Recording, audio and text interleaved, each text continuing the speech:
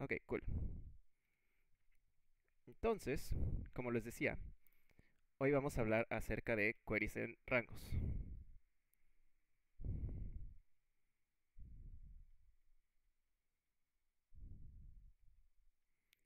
De arreglos. Les prometo que mi letra no es tan horrible. Ok. Eh, ¿Eso qué significa? Normalmente, cuando estamos resolviendo problemas, ya sea el problema en sí va a ser de este estilo, o para resolver el problema vamos a tener que contestar preguntas de este estilo. Entonces, lo, que nos puedes llegar a preguntar es que nos dicen, ¿tienen un arreglo ustedes de enteros o de cosas? ¿Sí? Un arreglo a 0, a 1, a 2, así hasta n-1. Y nos van a hacer preguntas de dos tipos. Pregunta de tipo 1 es hacer un update. ¿Qué quiere decir? Nos van a dar un índice y un valor. Y simplemente es reemplazar el valor del índice y asignarlo al nuevo valor. Que eso lo sabemos hacer simplemente utilizando un arreglo, ¿no? No, no, no tiene mucha gracia. Lo divertido es las preguntas de tipo 2, que es cuando nos están preguntando cosas cerca en un rango del, del arreglo.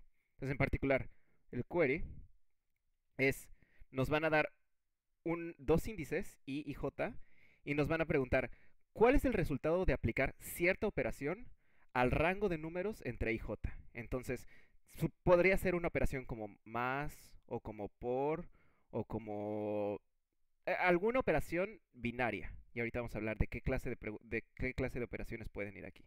Entonces, por ejemplo, si estuviéramos hablando de más, lo que nos estarían pidiendo es que calculáramos A de I más A I más 1 más A I más 2 y así hasta A de J. ¿Sí? Entonces, primero, preocupémonos por el problema en el que esto se trata de sumas. ¿Sí? Imagínense que van a venir Q preguntas, ya sea de tipo 1 o de tipo 2. Es más, vienen Q1 preguntas de tipo 1 y vienen Q2 preguntas de tipo 2. Si esto lo hiciéramos de la manera obvia, ¿cuál sería la complejidad en tiempo y memoria de soportar estos queries?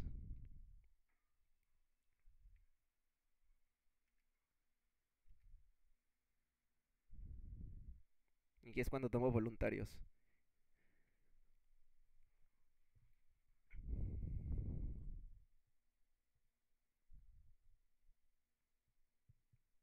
o de 1 la primera o de n la segunda. Ajá.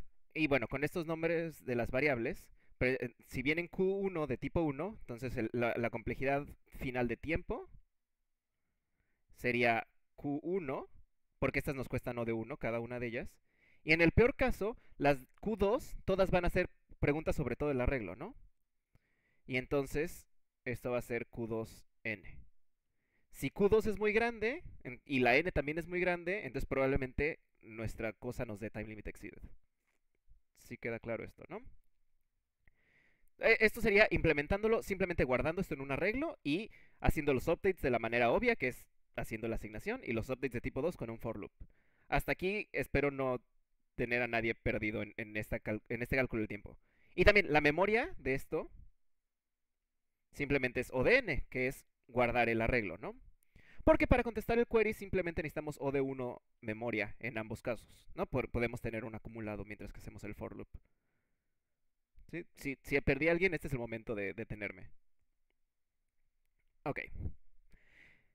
Eh, esperen, ¿el pizarrón lo ven ustedes? Sí, sí lo ven bien, ¿verdad? No, no lo ven volteado.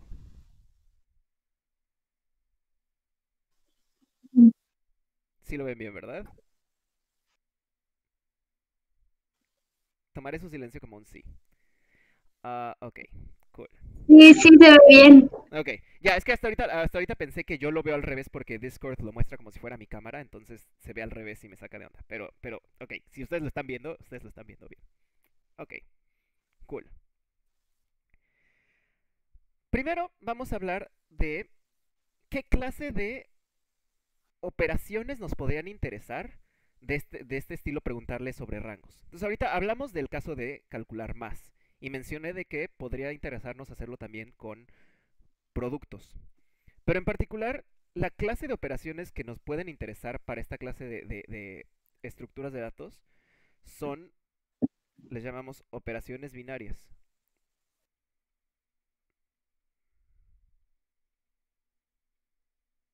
¿Sí? Y estas, como su nombre lo dice, lo que, son, lo que hacen es tomar dos cosas. Digamos, si nuestra operación es este más con, con circulito, lo dentamos como A más circulito, eh, que diga A más con circulito B. Y aquí esto podría ser suma o podría ser producto. Algo más interesante podría ser el máximo o el mínimo o el mínimo común múltiplo. Eh, lo voy a escribir en inglés porque pochear. Y el máximo común divisor. Se les ocurren otras operaciones binarias. Ahorita no estoy diciendo ni siquiera de qué estilo, pero operaciones binarias que se les hayan atravesado en la vida. Digo, resta se les podría ocurrir también. Y los voy a poner aquí porque estos tienen, no son lindos como estos otros, de cierta manera que ahorita vamos a hablar más. Resta, división. ¿Qué otras operaciones se les ocurre binarias que conozcan en la vida?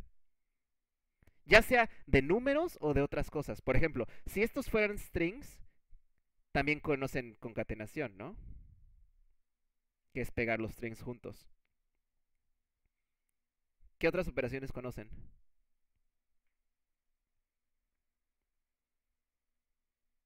XOR. El XOR, ok. ¿Alguna otra? Bueno, pues el AND y el OR, ¿no? Claro, claro, claro. El AND, binario, el OR, binario. Excelente. ¿Algo más que se les ocurra? Digo, aquí tenemos una lista bastante interesante, ¿no? Bueno, si se les ocurre algo... Potencia. Sí, potencias, esta va a ir en la lista de las feas. Pero, buena Raíz cuadrada. ¿Cuál? ¿Raíz cuadrada? No, porque la raíz cuadrada toma un solo elemento, ¿no? Y ahorita estamos hablando de operaciones binarias.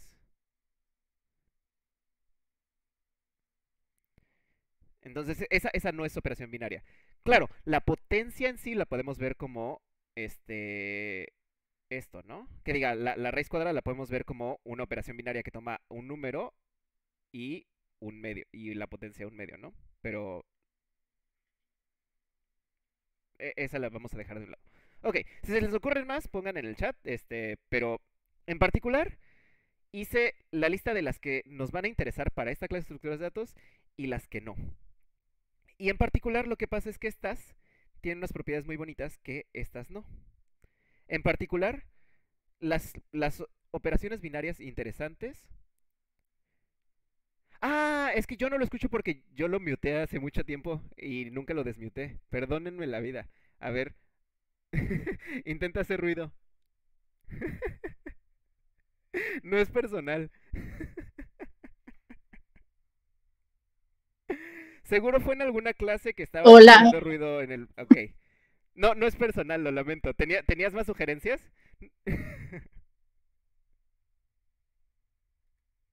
Eh, hace tiempo dije módulo, no sé si... Ah, ándale, Lo módulo. Módulo es una operación binaria. Precisamente, desafortunadamente, va en la lista de las que no están lindas. Pero sí es una operación binaria. Ok, pero ahora, ¿por qué estoy arbitrariamente dividiéndolas en dos y diciendo que unas son feas y que unas no? En particular, eh, las operaciones que nos van a interesar para el día de hoy tienen estas propiedades. Son asociativas. ¿Sí? Ahorita vamos a ver qué quiere decir esto. Son, eh, ¿cómo se llama? Tienen neutro. Y esto le voy a poner estrellita porque algunas de estas no tienen neutro, pero podemos vivir sin eso. Y algo me falta, estoy completamente distraído el día de hoy. Me falta una propiedad y ahorita me voy a acordar qué es lo que quería que Distributiva. Distributiva, El- perdón. Eh, conmutativa sería. Ah, no, Conmutativa. con- no. Al- algo, algo lindo que podríamos tener, pero que no es conmutativa. Este, esto ¿Cómo? Quizás no serían los inversos también. Ah, puede ser que tengan inversos, claro. Esta esta Eh, también, estrellita porque no todas estas tienen inversos. ¿Qué es el inverso de la concatenación? O sea, no hay como on concat. Pero sí. Eh, ahorita me voy a acordar, pero creo que. No, sí, nada más necesito que sean asociativas. Soy feliz con la asociatividad y, y el neutro. Ahora, hay muchas otras propiedades muy divertidas de las operaciones binarias que nos pueden interesar en el futuro. Como esto, como que sean conmutativas, como que tengan inversos. Pero las dos interesantes que hoy vamos a hablar y que nos pueden hacer útiles para las estructuras de datos que vamos a hablar hoy es que sean asociativas y que tengan neutro. ¿Y eso qué quiere decir? Son palabras muy rimbombantes, pero son, son conceptos muy sencillos que ya conocen. Las operaciones asociativas tienen la propiedad de que si tienes tres elementos, no importa cómo es que las apliques, va a dar la misma, el mismo resultado. A más con circulito C es lo mismo que A más con circulito B con circulito. Y neutro quiere decir que hay un elemento E especial que hace esto. A circulito E es igual que A, perdón, Circulito A es igual que A. Que no hace nada. Pues, conmutativa, solamente por, para que vean que el nombre lo conocen, es que no importa de qué lado apliquen las operaciones. Uy. Y inverso es que para cada elemento hay una cosa que como que lo deshaga. Pero esto no lo vamos a hablar hoy. Y esta es la misma E de acá. Pero estas dos solamente para que supieran que existen. Entonces, hoy, no, hoy nos interesa ver si las operaciones que tenemos en nuestra lista son asociativas y tienen neutro. Entonces, asociativo lo vamos a poner rojito y neutro le vamos a poner azulito. Uy, ¿por qué este no tiene? Este necesita un azulito más gordo. Ándale. Ok. ¿La suma es asociativa? Ah, más bien, díganme que, cuáles de estas no son asociativas.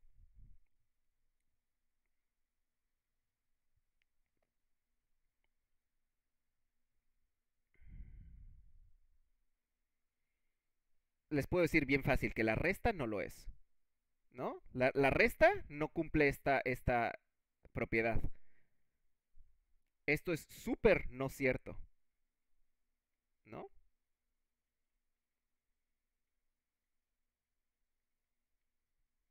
Mientras que es perfectamente cierto con la suma, o con el producto, o con el máximo, o con el mínimo.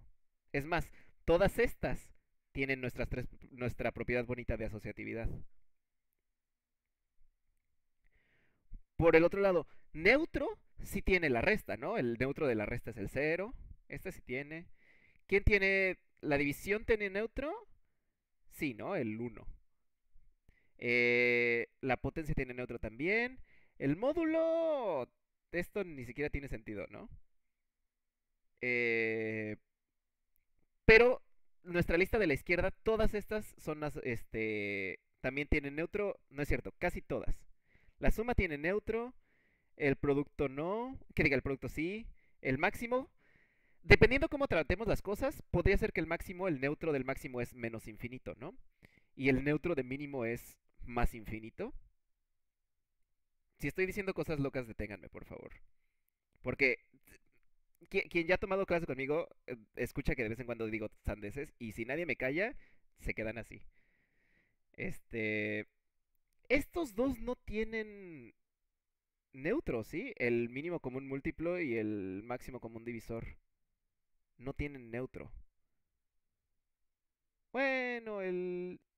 Uno para el mínimo como un múltiplo. Ah, pues en efecto, este sí. El 1 precisamente es neutro para el, para el mínimo, eh, mínimo común múltiplo. Pero el máximo común divisor no tiene neutro. ¿Eh? ¿Pero que no? El 0 se porta bien, pero el 0 con el 0 ya no se porta bien, ¿no? El 0 es Ah, como, el- bueno. como la excepción. Pero sí, sí, esto es, aquí hay una estrellita.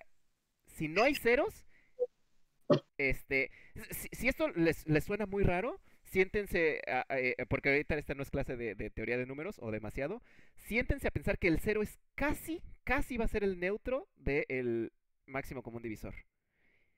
En particular, GCD de A0 con A distinto de 0, en efecto, es este A. Y eso, bueno, hay eh, para que lo mediten un ratito, pero esto, esto es de lado. Concatenar, el string vacío tiene neutro, el XOR, el 0 es el neutro, AND, todo con unos es el neutro y el OR, el todo con ceros es neutro. Ok, cool. El punto es que la propiedad más divertida que nos va a interesar hoy es la asociatividad y la segunda que nos va a interesar más es que tenga neutro. ¿Y eso a qué va? ¿Por, ¿Por, qué nos interesa tanto la asociatividad? La gracia de las estructuras de datos que vamos a hablar hoy es que nos permiten reducir las preguntas de tipo 2 a respuestas que ya tenemos precalculadas y nada más tenerlas que pegar juntas. Y la forma en la que las vamos a pegar juntas precisamente va a requerir que nuestra operación sea asociativa. Eh, esto está sonando muy locochón, ¿no? Pero vamos entonces a hablar de la primera estructura de datos de la que vamos a hablar hoy y va a quedar muy claro por qué necesitamos asociatividad. Entonces, en particular, la primera estructura de datos de las que vamos a hablar hoy se llama sparse table. En español esto quiere decir tabla rala. Este, tabla densa. ¿Esparsa no existe? Eso suena poches. Igual y sí, ¿eh? Pero mi vocabulario no me da para tanto. Sparse, sparse, sparse es lo, lo, opuesto de dense. Entonces le vamos a llamar tabla no densa. Este, si alguien busca el diccionario y sabe qué es la palabra correcta, este, brownie points. Eh, ok, ¿de qué se trata esto? Esta es una estructura de datos que nos va a permitir responder las preguntas de tipo 2 solamente. O sea, si nos dan un arreglo fijo... Ups.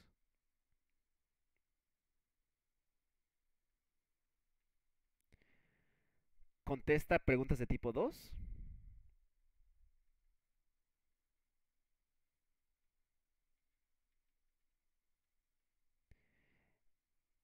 En tiempo. Y esto, ahorita los que ya han escuchado estos datos me van a querer pegar, pero esto se va a arreglar. En tiempo o de log n. Donde n es la longitud del arreglo. ¿Sí? Y esto le voy a poner estrellita porque si nuestra operación es ligeramente más bonita que solamente pedir la asociatividad, esto baja a O de 1. ¿Sí? Entonces, O de 1 con más propiedades.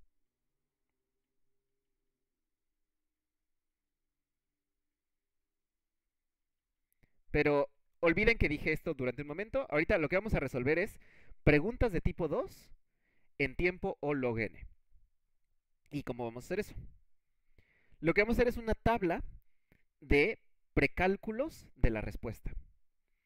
Entonces, supongamos que tenemos un arreglo, no sé, de tamaño, ¿qué les gusta? ¿4? Me gusta el 4 porque es potencia de 2, pero no necesariamente tiene que ser.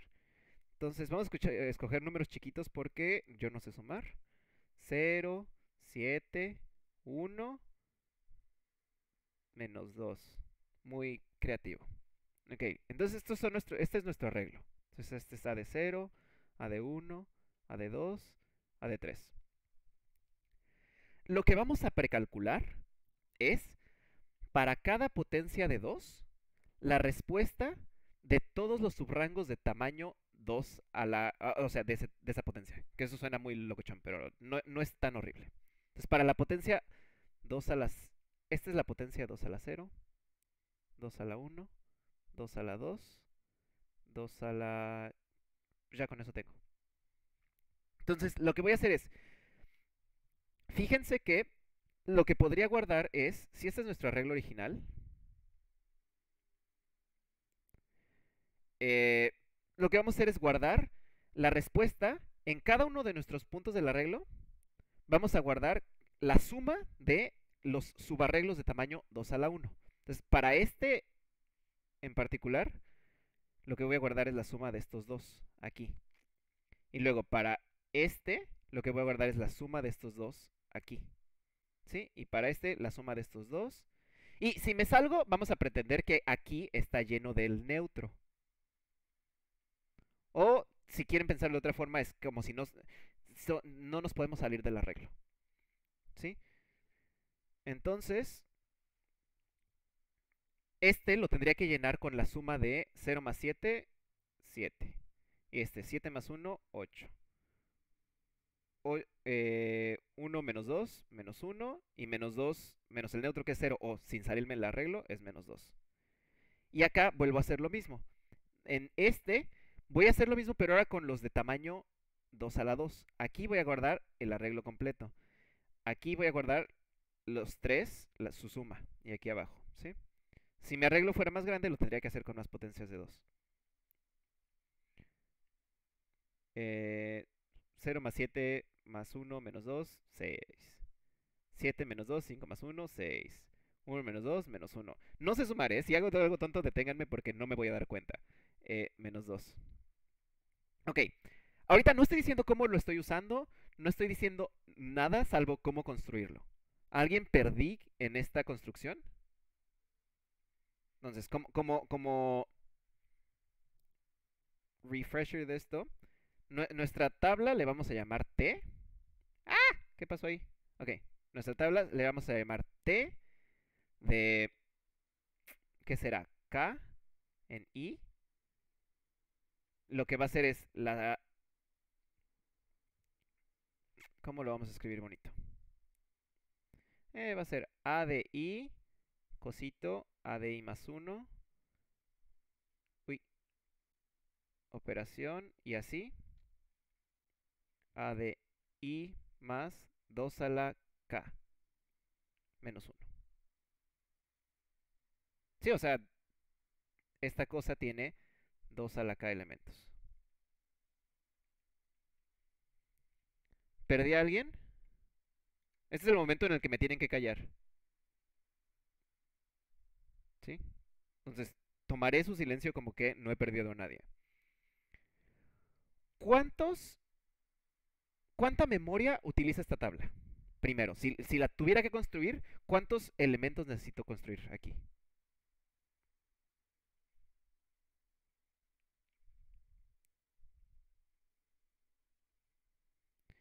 N al cuadrado.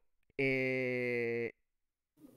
¿No sería log n por, por n? Exactamente, log n por n. ¿Por qué? Porque el número de potencias de, o sea, eh, necesitas eh, log n potencias de 2. O sea, digamos que de un lado tienes las columnas, del otro lado tienes Ajá, ajá, ajá. los elementos del arreglo. Y para cada elemento del arreglo, pues. Eh, tienes este, las filas suficientes como para eh, sobrepasar la cantidad de elementos en el arreglo. Para eso Precisamente, ¿no? necesitas log n de log n filas. Exactamente. Lo que estoy haciendo es una matriz en la que el ancho, si quieren, es n. Y el alto, pues tiene que ser lo suficiente. di- Digo, lo estoy medio obviando, pero tiene que ser lo que suficiente para tener un- una fila, por lo menos, que sus elementos cubran todo el arreglo. Digo, ahorita vamos a ver para qué nos sirve, ¿no?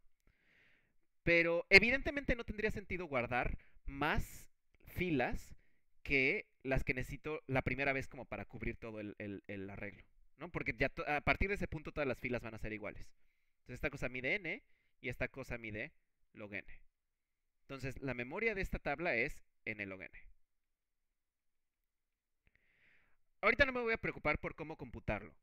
Pero si esto lo computo de la manera obvia, como la acabo de computar ahorita cuando lo, este, construí en el pizarrón, ¿cuánto me toma en tiempo computar esto?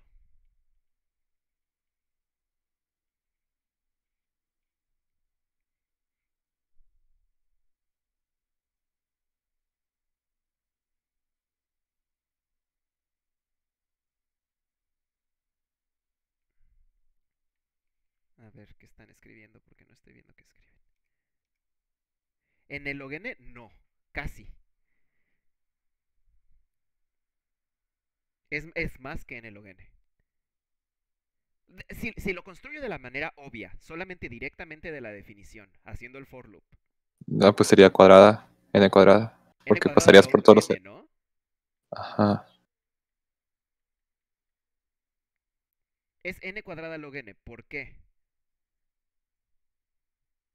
Porque estaríamos recorriendo varias veces los arreglos para Sí. entre más. Cada, cada Ajá. casillita, digo, si lo hacen con cuidado, van a ver, pero esta, eh, esta cosa, eh, nada más simplemente piensen en la última fila, cuánto les va a costar.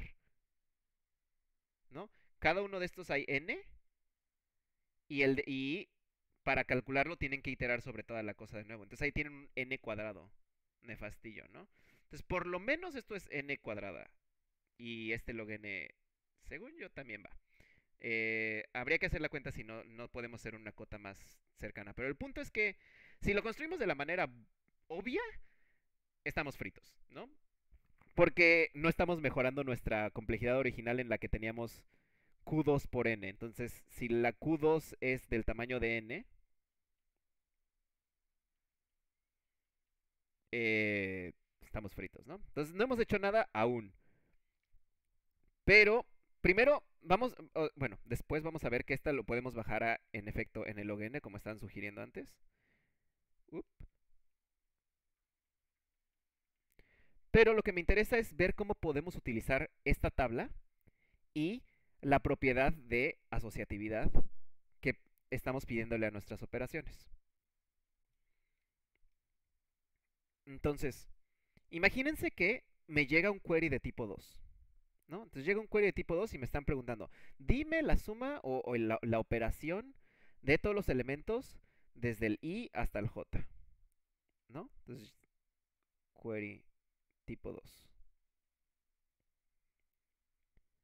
¿Se les ocurre una manera de que si ya tengo todos estos valores t calculados, pudiera contestar este query más rápido que solo el for loop? Eh, ¿Cómo se llama? El, el for loop obvio.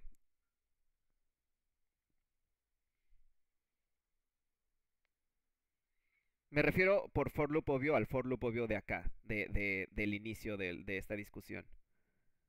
Porque este, este for loop, si no lo han visto, no necesariamente es obvio. Pues como son asociativas, podrías usar las que ya para, para calcular la nueva, el nuevo valor, ¿no? Precisamente por eso queremos la asociatividad. ¿Cómo, o, más bien en particular, qué valores de esta tabla T son los que te interesan? Elegirlos, porque tienes un montón de arreglos, tienes n log n de estos, ¿no? Porque precisamente los eh, podrías todos elegirlos de T0i hasta acá y hacer esto y no, no arreglaste nada, ¿no?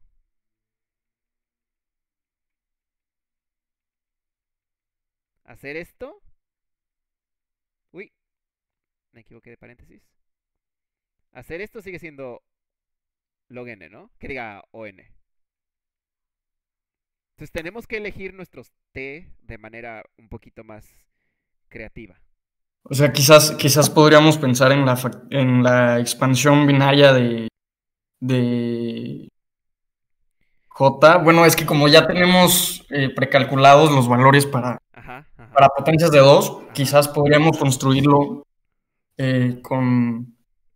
Porque hay algunas potencias de 2 que están presentes en la, en la expansión de... Exactamente. Bueno, no, no estoy muy seguro. Sí, pero pero- por ahí va la cosa, ¿no? O sea, como que lo, lo, lo puedes ver, a ver, a ver si puedes llegar a la idea que quiero que llegues. Tienes un arreglo largo, largo, largo, con muchos, muchos puntitos, ¿no? Y para todo este, bueno, tienes la matriz esta, pero el punto es que te están preguntando un rango de aquí hasta acá. Te están pidiendo la suma o el producto o el XOR o el algo de estos, ¿no? Ok. De alguna manera puedes partir este rango en rangos de tamaño de potencia de 2 y que sean poquitos. Eh, sí, bueno, depende del tipo de operación. Ah, estamos- Pero- estamos hablando de puras operaciones asociativas. Entonces, estamos hablando de cosas como la suma, o el, o el por, o el XOR. Eh, sea, sea dónde quieres ir, ahorita no estamos hablando de eso, estamos hablando de algo que nos vaya a costar log de n.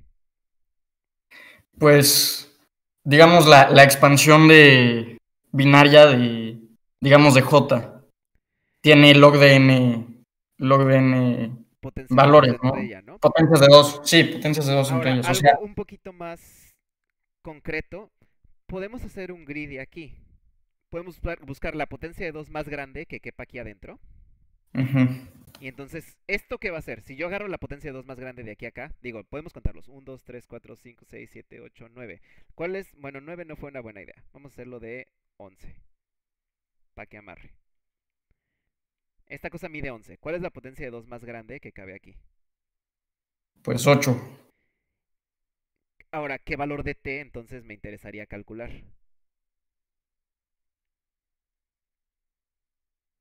Acordémonos que 2 a la 3 es 8. Si no me equivoco. Porque suelo equivocarme con esas cosas.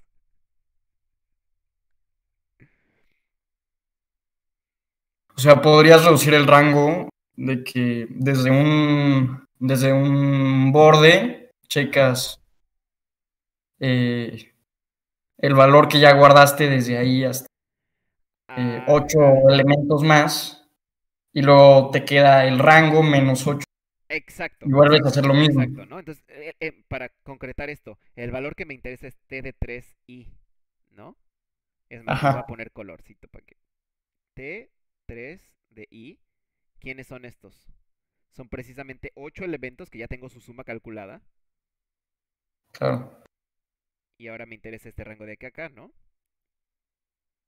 Sí, sí, sí, vuelves a hacer lo mismo, Vuelvo a ¿no? hacerlo exactamente, ¿no? ¿Quién, Sí. quién me interesa aquí? ¿Quién sería? El rango original era de 11, ¿no? Entonces sería 2. S- eh, eh, sí, este mide 3, entonces 2 y luego 1. sería t de quién. Y te puedo prometer que este va a ser i más 8, ¿no? Porque nos brincamos 8 aquí. Ajá. atrás. ¿Quién va a ser aquí? T de, T de 1 y luego T de 0. Sí, ¿no?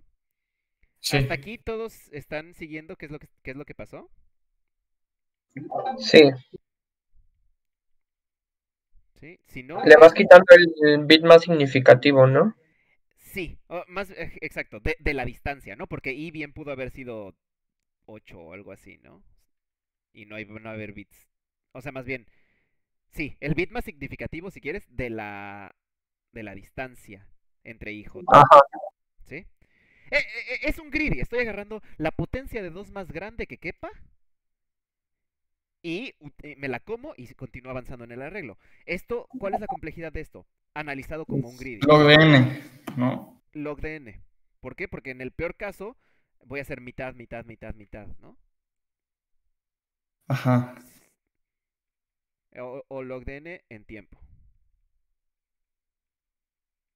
¿Hasta ahorita no he perdido a nadie? ¿Sí? O sea, si les da pena o lo que sea, mándenme mensaje directo o hagan ruido porque se, se empieza a poner esto más loco.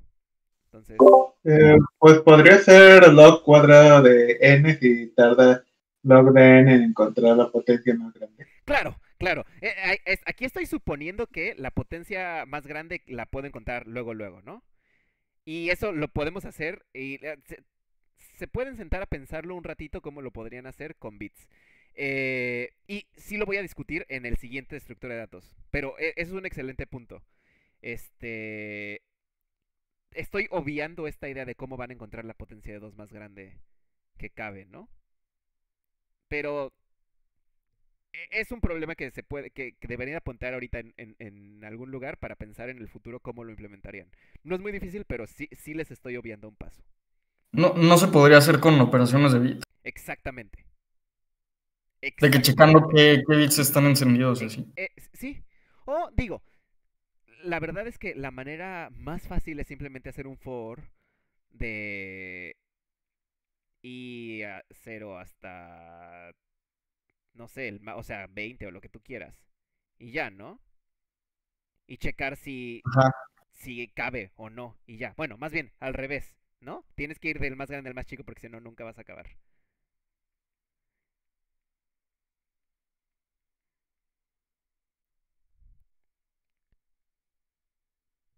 Sí, sí, si estás en, en GCC, hay, unos built-ins lindos. Eh, les sugiero que esas cosas, eso, eso está muy útil. Lo tienen que tener muy, muy, muy entendido qué están haciendo con, cuando están utilizando built-ins y cosas así. He visto muchas veces en los concursos que usan cosas fancy que les dijeron que utilizaran y les da errores de compilación y no lo saben arreglar en el concurso. Entonces, no les digo que no usen cosas fancy, les digo, si usan cosas fancy, estén seguros que saben arreglar los errores de compilación que les pueden escupir. O sea, sí se vale hacer cosas de niños grandes, pero tienen que saber resolver pro- eh, errores de niños grandes también. Eh, bueno. Ok, entonces ahora, si la tabla la tuviéramos computada, ya sabemos resolver queries del tipo 2 en tiempo log de n. ¿No? Siempre y cuando nuestra operación sea asociativa. Y de hecho, fíjense que aquí, en esta idea de partirlo en trocitos de colores, necesito que la cosa sea asociativa, ¿no? Para que en efecto sí me dé la respuesta de haber hecho el, el XOR o el- la suma o lo que sean de los elementos de en medio, sin importar cómo los haya agrupado. ¿Sí? ¿Sí, sí queda claro por qué estabas pidiendo esta, esta, esta propiedad de la asociatividad? No, no, no entiendo. Ok, ¿dónde te perdí? Puedes decir desde el principio. Pues sí, desde A el ver, principio. A ver, vamos a ver. ¿Entendiste la pregunta inicial que, que era, tengo un arreglo y me están pidiendo la suma de todos estos, de, de estos 11 elementos, desde la i, digamos que este era 0, 1, 2, 3, hasta la j igual a ah, 14, 13. no sé sumar. Eh, no, 14, ¿no? No, ¿qué pasó, profe? Si ¿Qué usted no sabe menos yo. Es que yo no sé sumar. Aquí, aquí hay 11. 3, 4, 5, 6, 7, 8, 9, 10, 11, 12, 13. Gracias. Este. anyway, a ver. Entonces me están preguntando la suma de todos los números desde aquí del i igual a 3 hasta el j igual que 13. ¿Sí? ¿Hasta aquí no te he perdido? Sí. Ok. Entonces, ya alguien muy lindo y muy generoso nos calculó esta tabla de las sumas de que si yo estoy empezando en cualquiera de los, de los números, yo puedo agarrar y pedirle eh, a, a esta tabla mágica, dime la suma de los siguientes 2 a la 0 elementos, o 2 a la 1 elementos, o 2 a la 2 elementos. Estos ya los puedo pedir automáticamente porque alguien ya me dio una tablita. ¿Sí? Entonces lo que hice fue partir el problema en hacerle preguntas a esa tablita. Como tengo la tablita de 2 a la 3, que son 8, entonces le pregunté a la tablita, que fue este número rojo, le pregunto, dime cuál es la suma de los siguientes 8 elementos si yo estoy parado en el i igual a 3, que es esta cosa roja. ¿Sí? Ya que me contestaste eso, pues ya tengo la suma de toda esta cosa, puedo brincarme todo esto y preguntar aquí de nuevo. ¿Quién es 3 más 8? 11. Aquí estamos en la, posición 11. Y ahora puedo hacer la misma pregunta de nuevo a la tablita. Dime cuál es la potencia, o sea, como ya los tengo precalculados, la potencia de 2 más grande que, me alcanza a resolver para todos los que me falta la suma es 2. Entonces le pregunto a la tablita que sabe los brincos de 2, dime, ¿cuál es la suma de los siguientes dos elementos si yo estoy parado en el elemento 11? Y hago lo mismo hasta que llego, hasta que ya sume todos. No sé si eso explicó la, la duda o el algoritmo. Sí, ya mejor, gracias. ¿Ok?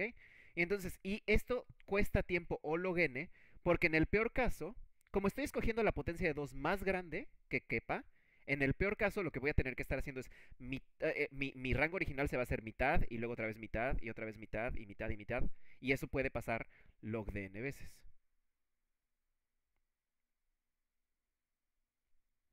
Ah, y ahí, ahí, ajá, ahí en, en el chat acaban de poner un, un tag muy bonito y que eso explica por qué necesitamos que sean asociativas. Ok. Entonces creo que hasta ahorita...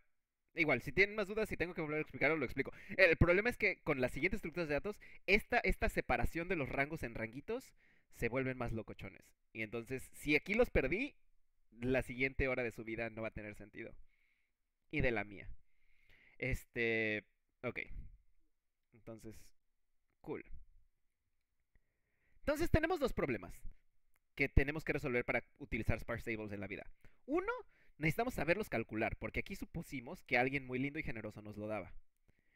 Y el problema dos es que necesitamos... eh, ¿Cómo se llama? Necesitamos Ah, bueno, les había dicho que, que teníamos, si nuestra propiedad, si nuestras operaciones son lo suficientemente lindas, podemos reducir este cálculo de log n a O de 1. Que eso está súper loco. Entonces, primero preocupémonos por calcular la tabla. Y eso es mucho más sencillo de lo que podrían creer. Si no me equivoco, ya tuvieron una clase de DP, ¿no? Programación dinámica. Eh, sí, se supone. Sí, sí, sí. Bueno, este, para hacer esto vamos a hacer programación dinámica muy sencilla. Este, este es, ni siquiera está nada locochón. A ver. Voy a robarme la definición de la T de aquí arriba. Como tengo un pizarrón mágico, puedo hacer eso. Copy. Creo que sí me lo copié. Copiar. ¡Ah! No quería hacer eso. No quería hacer eso. Un día de estos lo lograré. Ok. Entonces, tenemos la definición de la T aquí. ¿Sí?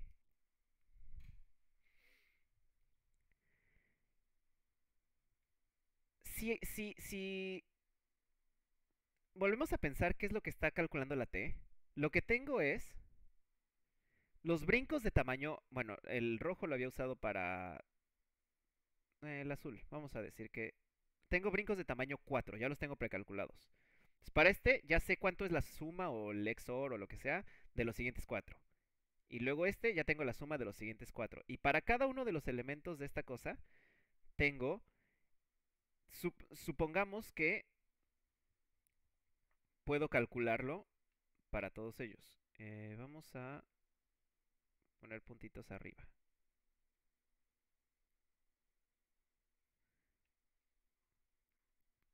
Entonces, imagínense que alguien muy lindo ya nos dio la tabla T de K para alguna K arbitraria. Y nos están pidiendo que calculemos T de K más 1. ¿Sí? Entonces, ya tenemos T de K. Y queremos calcular T de K más 1. De otra manera, la verdad es que no vi cómo fue su clase de DP, cómo es que lo vieron, pero me imagino que lo que vieron es que podían escribir una recurrencia para intentar resolver un problema grande de una forma en la que lo parten en problemas más chicos. ¿No? Los rangos de tamaño 8 se les ocurre una manera relativamente evidente de partir un tamaño, un, un- un rango de los de este, de TK más 1, en rangos para los que ya tengo la respuesta.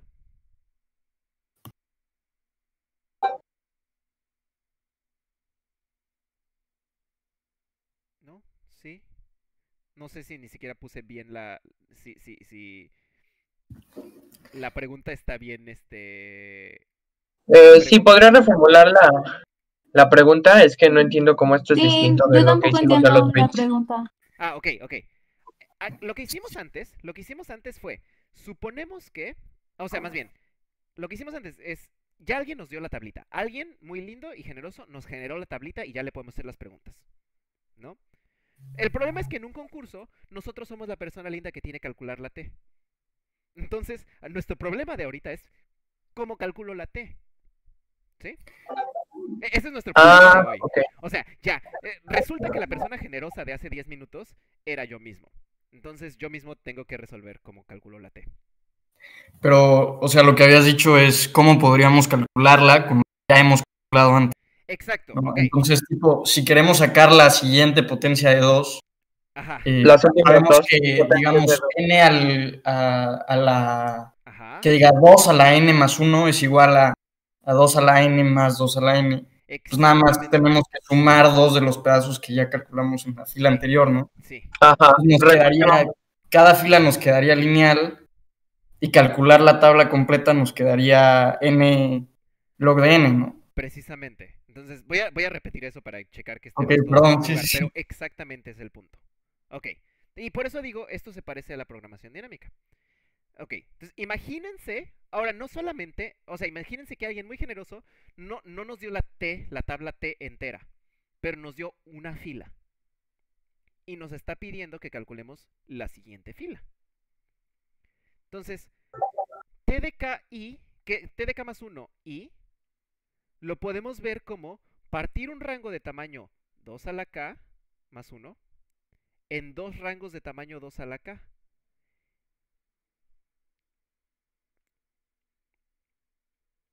Pero para esto ya tengo la respuesta, ¿no? Porque ya nos la dieron arriba. Y entonces, precisamente, t de k más 1, perdón, t de k i, puntito, t de k i más 2 a la k.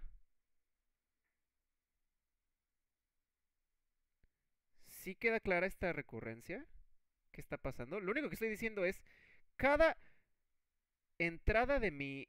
No me gustó ponerlo en cajita. Se ve muy ruidoso. Cada cajita, que diga, cada entrada de nuestra sparse table está relacionada a la fila de arriba, ¿no? Geométricamente, si quieren, cada rango largo lo puedo partir en dos rangos de, tamaño de la mitad y pues preguntarle al de arriba cuál es la suma o el XOR o lo que sea. Y esto se vale, de nuevo, que estoy, estoy aprovechando la única propiedad que le pedí a, la- a la- a esta cosa, es que sea asociativa.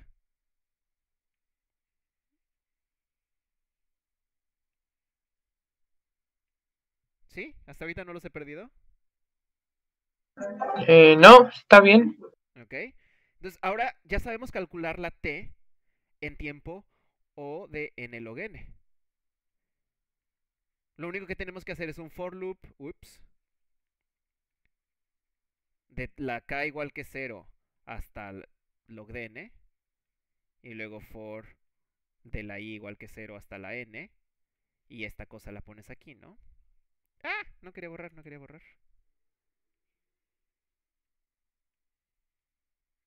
Tarán.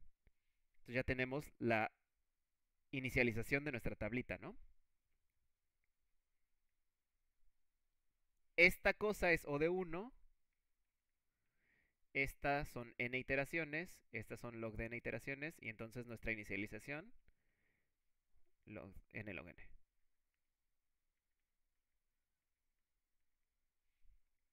¿Sí?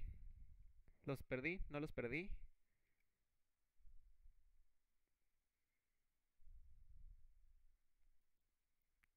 Ok. Profe, ¿puede ver el chat? Es que están escribiendo ah, ahí. Están escribiendo. Y, porfa, dime Freddy, profe es como demasiado formal, me siento demasiado viejo, no es para tanto. Profe Este- Freddy. este. Sí, con O más me refiero a cualquier operación asociativa. Sí. Eh, ah, de hecho, justo, en la clase pasada estaban viendo el LCA, ¿no? El, el- el mínimo común ancestro. Ancestro Sí. común mínimo. Y tienen que sacar mínimos en algún punto, ¿no? Eh, El- pues con la técnica del RMQ. Exacto. Y de hecho, RMQ es Range Minimum Query. No, no sé cómo Sí. lo resolvieron ustedes en, en esa No, clase. nos dijo que nos dijeron de Que lo íbamos a ver después. Ah, Ajá. sorpresa. e- Esta es esta clase. ¿No? O sea, porque ¿qué, qué es lo que tenían que hacer en el CA? Tenían que sacar el mínimo de un rango. Y el mínimo es una operación asociativa. Entonces, con esto acaban de completar la clase anterior. Emoción. Pero, pero a ver, eh, yo aquí me acabo de, de como que confundir un poco mucho. Sí. Porque en la clase pasada Sí, eh, había como dos posibilidades para resolver es- el problema de hay encontrar el... Hay infinitas, continúa. Bueno, sí, pero, eh, o sea, nos explicó Guiritos, nos explicó dos posibilidades. Ajá. hacer una spare stable, ¿Qué es ¿no? Y esta? sacar los, sí que es esto, y, y hacer como una búsqueda binaria que le llamaba eh, Ah, binary listing, una cosa así, Sí, pero, sí. Esa, recuerdo el no nombre, tiene que pero- ver con esto. Esa de los brincos pero, pero los- para eso necesitabas una spare stable, ¿no? Básicamente estás calculando una sparse table. De hecho, de hecho.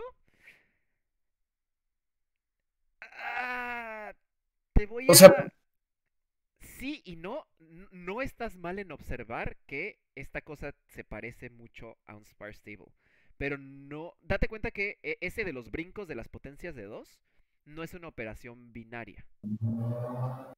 Pero Bueno, pero sí es una operación asociativa, ¿no? Pero exactamente, e- exactamente, es una operación asociativa que del mismo modo que aquí puedes partir el mundo en, en, en, en O sea, un brinco de tamaño 2 a k más 1 lo partes en dos brincos de 2 a la k.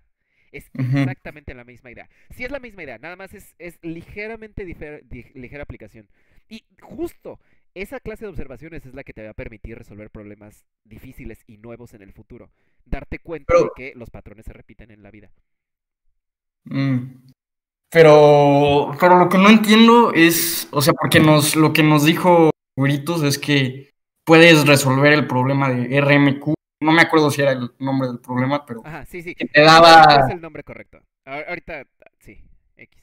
o sea, que eso te daba, que eso te daba la, o sea, necesitabas hacer eso, aplicarlo en un camino eule- euleriano y eso te daba el lugar donde estaba el, el LSM. Ah, ok. L- Entonces tu, problema es más acerca de teoría de grafos que de estructuras de datos. ¿Cómo se Eso sí, te lo, lo podemos... No, no, pero ¿O cómo?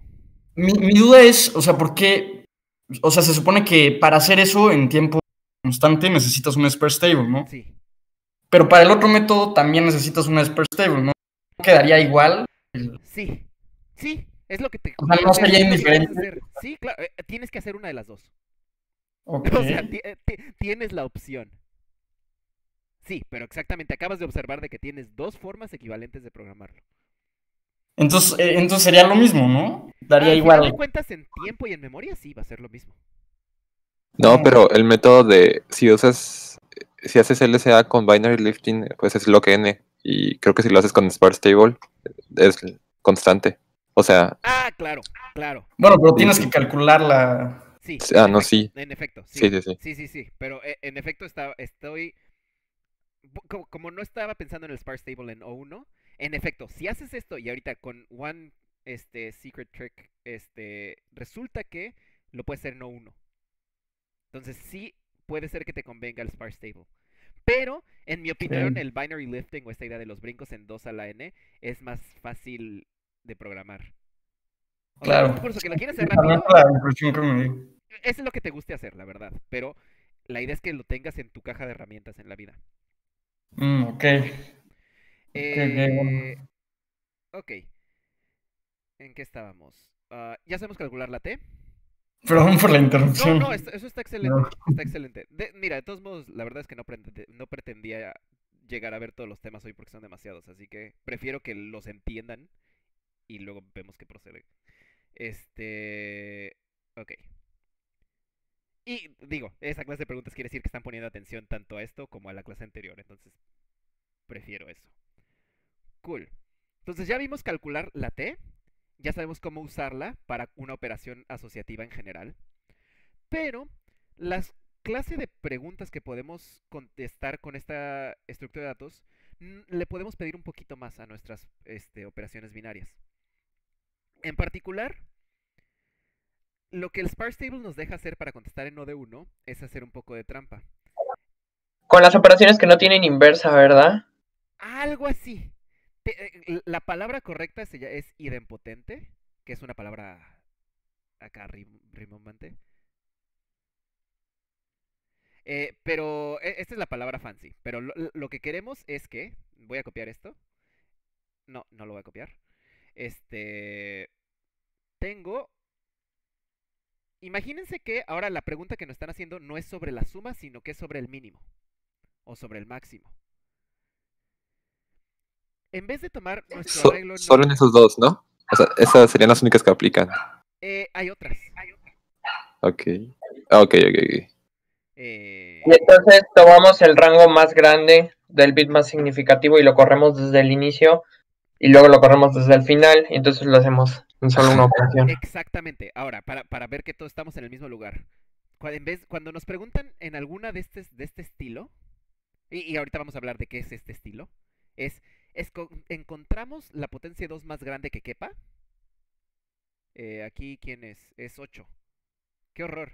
Este, vamos a ver esta de nuevo más grande. Es que si no, como que no se ve tan bonito, pero no importa el tamaño del arreglo. Ok. La potencia de 2 más grande que cabe aquí es 8.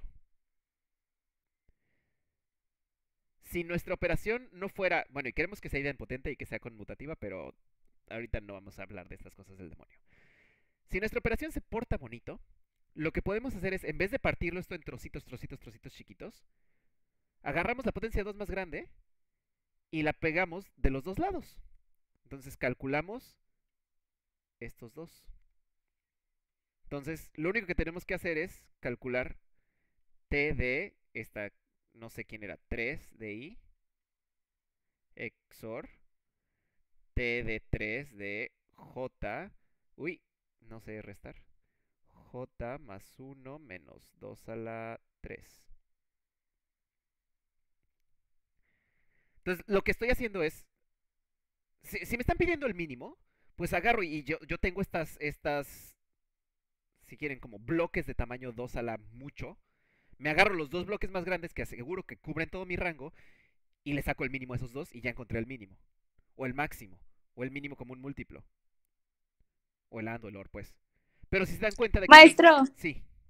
¿no sería el, el máximo común divisor? Eh, sí, probablemente lo dije al revés. y esa es la clase de cosas que me refiero que digo sandeces. Gracias, por favor, eh, este, deténganme cuando digas esa clase de tonteras. Sí, este, el máximo común múltiplo es tonto, ¿no? Y el este mínimo común divisor también es tonto. Eh, entonces, sí. Espero mis puntos es- extra, gracias. Este. ¿En qué andábamos? Ok, entonces, con el mínimo, con el máximo, no tenemos que partirlo en trocitos que sean disjuntos, sino que podemos tomar dos trozos grandes, pedir el mínimo y se acabó. Y entonces, o de uno. ¿Sí queda claro?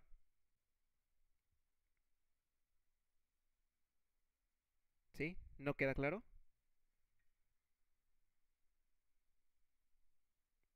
Ok. Para revisar qué tan... Sí, adelante. No, no, no, sí, sí, que Ah, sí queda claro. ok. Entonces, para, para revisar la claridad de este emocionante concepto, eh, les tengo un problema que se resuelve con esto. Entonces, les voy a dar un ratito para pensar. Eh, está, no es inmediatamente evidente, tal vez. O sea, el, el punto es que tiene, tiene gracia, ¿no? Y el problema es... Ah, se los voy a pegar en el chat y ahorita lo voy a poner en, en- en el... Igual en el video, pues.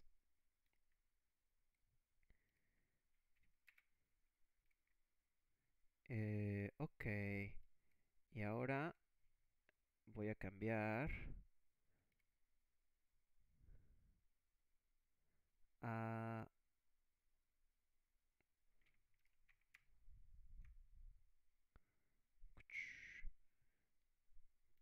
Tarán, ahora ven Omega Up, ¿verdad? Sí. Ok, cool. Sí. Este... Cool, cool, cool. Entonces nos dicen que tenemos una secuencia de n números enteros positivos. Y va a llegar una operación mágica. Y la operación mágica lo que hace es eh, tomar los dos elementos adyacentes que estén y cambiarlos por su máximo común divisor. Que yo había estado escribiendo como GCD antes. ¿Sí? Entonces lo que pasa es que 4 con 12, máximo con divisor es 4. 12 con 3, máximo con divisor es 3. 3 con 9, 3. Y dice que la cosa es como cíclica. Entonces 9 con 4, la respuesta es 1. Y esto se sigue repitiendo, repitiendo, repitiendo, hasta que todo se vuelva unos. El problema es, dada la secuencia de inicial, dime la mínima cantidad de pasos que necesito para que todo se vuelva unos. Y obviamente, si no es posible, porque imagínense que nos dan puros 12 o algo así, eh, la respuesta es menos 1. ¿Ok? Entonces, límites. Eh, 200.000, nuestro arreglo. Y los números que están dentro del arreglo van de 1 hasta 1000. Entonces, les voy a dejar con el problema un ratito. Y donde un ratito son unos 5 minutos 10. Eh, y ahora vengo. Si ya, si quieren discutirlo, adelante. Si quieren decirme la respuesta sin quemarla, es- estoy checando los DMs. eh, los, eso, del chat privado si quieren, ¿no? Entonces vengo en un ratito.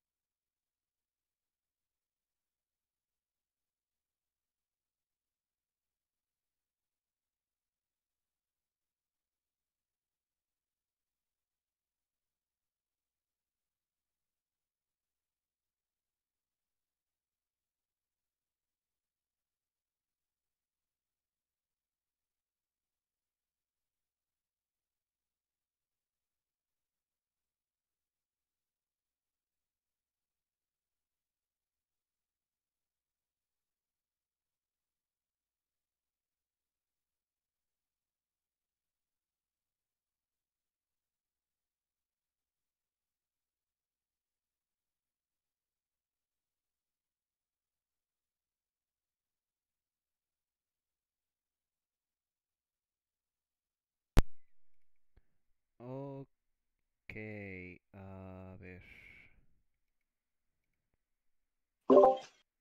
Déjenme mm. ingreso a esto y lo conecto. Ah. Mm, sí. ah, lo curioso es que yo no sabía el truco este que dijiste. Eh, encimarlo? Sí, encimarlo. Eh, y entonces, eh, ay, a ver qué problema pone Freddy para eso. Y pone el problema que escribí yo.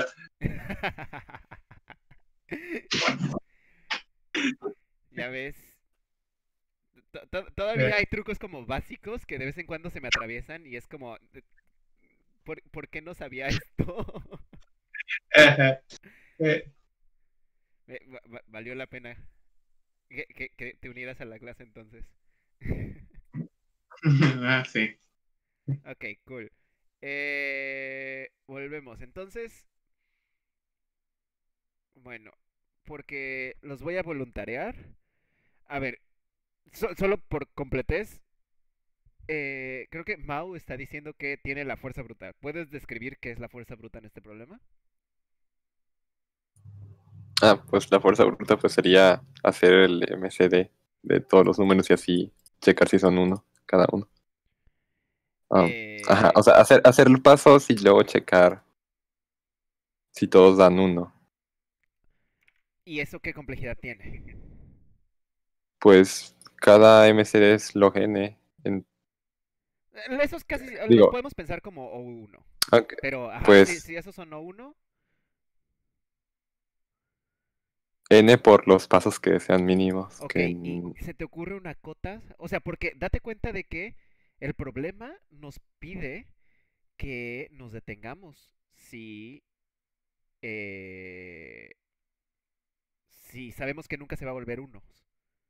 Porque si nos Pues a dan lo la mejor entonces, ¿cómo, ¿cómo te detienes? el máximo del número, el máximo del arreglo a lo mejor sería lo, lo máximo que. Exacto, ok. Entonces, e- e- esa es una observación importante que no está escrita en el problema. ¿No? Evidentemente, si dentro de n pasos no se hizo esto, ya eh, sabemos con certeza que nunca se va a corregir el arreglo. Bueno, que nunca se va a volver unos. ¿Por qué? ¿Puedes repetir, por favor? O sea, de- si dentro de n pasos no se volvieron todos los números unos, nunca se van a volver Ah, todos unos. Sí, sí, sí. ¿Por qué? Mm, porque eso significa que, este, no sé cómo decirlo, pero Ah, ok, ¿qué pasa dentro de n pasos? Porque tendrías el máximo común divisor de todos los números. Exacto, exacto, Mm, exactamente. ese- ok. Ese es el argumento correcto. Cada uno de los elementos, eh, pues ya pasó n, entonces ya, ya es como si hubieras acumulado, porque el máximo común divisor es este, idempotente, como habíamos visto, ¿no? Entonces que es como si hubieras juntado todos los de todo el arreglo en cada una de las posiciones, ¿no? ¿Te, te puedo detener un, un segundo? ¿A qué nos referimos con idem- idempotente? Ah, ¿Qué que si le aplicas varias veces, no pasa nada, como el mínimo. Si le sacas 3 mínimo Ok. 2 y luego mínimo 2, mínimo 2, mínimo 2, pensado como operación binaria, no pasa nada. Ok, ok. Y entonces el máximo común divisor, si le sacas GCD, GCD, GCD con el mismo número, el mismo Claro, número, sí te va a dar el mismo número. mismo. De hecho, por eso podemos hacer el truco este del- de, los dos rangos encimados. Porque todas esas operaciones que pusimos son conmutativas, que fue la palabra fancy que había dicho antes, que conmutativo es que les puedes dar este... Ay, ¿dónde está mi palabra fancy? Por ahí. Las puedes voltear, ¿no? Es que las puedo voltear. Y, e idempotente es que si la vuelvo a poner por la derecha, es como si no lo hubiera hecho. No, bueno, es como, es como si nada más lo hubiera hecho una vez. Entonces, con esas dos propiedades, idempotencia y eh, conmutatividad, podemos hacer este truco de encimar los dos rangos. Sí, dije, ay, no necesito la palabra fancy idempotente, pero sí la necesitaba. Este. Entonces, todos estos que están aquí, en este, en este, en esta lista, tienen esa propiedad. Son conmutativas y son idempotentes. Eh, ok. Entonces, la fuerza bruta sabemos, o sea, al menos ya tenemos un algoritmo correcto, ¿no? Porque antes ni siquiera nos sabíamos detener cuando, cuando no hay solución. Entonces, ya, ya vamos de ganancia, ¿no? Ya en en cero no quedó. Eh, creo que nadie dijo que tuviera algo intermedio. Ok. Entonces, bueno. Yo, yo, yo creo que sí. A ver. Creo que tengo una cosa intermedia. Ok, adelante. O sea, si ya tenemos como, como son asociativas y ya tenemos los valores para de que quizás no es precisamente un sparse stable, pero si ya tenemos los valores para eh, el máximo común divisor de dos números, con eso podemos construir en tiempo lineal el valor para, para tres números, ¿no? Y así sucesivamente usando las que Por ahí y entonces, eh, eso te quedaría, o sea, porque imagínate que estás haciendo como una tabla y eso te quedaría, este, eh, uno de los lados de, o sea, el número de, de columnas de la tabla es n y el número de filas es la, la respuesta. No, porque es el número de ciclos que repites, entonces te quedaría cuadra- cuadrático, pero no sé si... Ah, Sí, ok, ya, ya, vi- ya, ya, ya entendí a qué vas. Creo que sí, en efecto, o sea, sería una implementación un poquito más, este, eficiente de la fuerza bruta.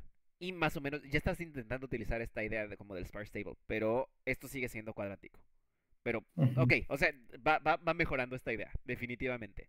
Ok, necesitamos dos simplificaciones a este problema. Primero, Yo creo que tengo algo. Ok, ah, por favor. Ajá, bueno. Ah, yo lo que hago es primero para saber si el arreglo, o sea, si alguna vez se va a convertir en puros unos, Ajá. saco el GCD de todo el arreglo. Si no es uno, pues no se va a convertir perfecto. en uno. es- esa es una excelente observación. Y segundo, hago el primera operación, la primera operación, y entonces la distancia más larga entre unos es la respuesta, porque si nos damos cuenta con que haya un 1, entonces en cada, en cada una de las operaciones se va a ir agregando un 1. Entonces calculaba la distancia más grande entre dos números 1 y esa era la respuesta. Pero eso no necesariamente es cierto, ¿no? Porque imagínate que tengas eh, como que todos sean, ¿cómo se llama? Que todos sean múltiplos del otro salvo uno. O algo así. Entonces nada más va a haber un uno. O algo así. Te puede quedar algo así como coprimoso. No me queda claro que lo que estés diciendo. Ajá, ah, entonces pues da toda la vuelta nada más, o sea, si solo hay un 1, se detecta a sí mismo como una distancia, o sea, que da toda la vuelta, porque si te das cuenta en cada operación, ese 1 va a avanzar un espacio, porque se va a comparar con el de enfrente. Sí. Así. Sí. Oh, no, no sirvió tu spoiler tag. este. eh, creo que sí va por ahí, pero lo que me preocupa de esta solución es que no me queda claro que sea enteramente. O sea, que lo que estás diciendo está perfectamente bien si es una cota superior. La distancia de los unos es una cota superior sobre la cantidad de pasos. Pero no me queda claro que sea exactamente la cantidad de pasos mínima. O sea, lo que me preocupa es que hubiera alguna interacción entre los números que haga que aparezcan unos en algún punto que no lo consideraste y que se, que se rellene de unos en medio. Y se me hace que se puede hacer un contraejemplo. Este. Pero podría y podría haber. Sí, o sea, eh, no está mal. Más bien me preocuparía que te fueras con esa idea y que la implementaras y que no da y que no diera. Eh, ¿Alguien más? Gabriel Cara no message a ¿Eh? Sonó algo así como súper raro. Como que el screen reader de mi computadora hizo ruido. Ah, Bueno, X, me perdí. Eh, ok. La, primero, la, la primera simplificación de este problema que se les va a atravesar mucho en la vida cuando están haciendo cosas que sus arreglos son circulares es quitarse de problemas y reducir el problema a un problema en el que el arreglo no es circular. ¿Cómo haces eso? Si tienen su arreglo original. Bueno, este estaba uno indexado, creo, ¿no? Entonces, está bien, vamos a seguir la convención del problema.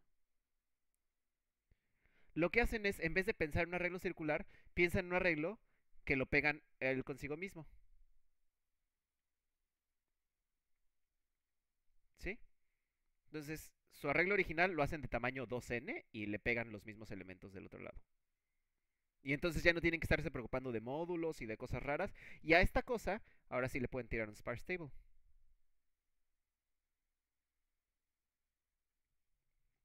Ok, aquí no hemos resuelto nada. Aún.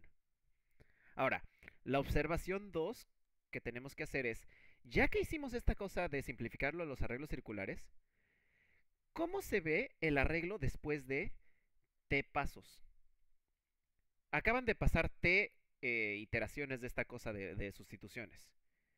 ¿Cómo se ve el arreglo en la posición i? ¿Cómo lo calcularía dado mi arreglo original?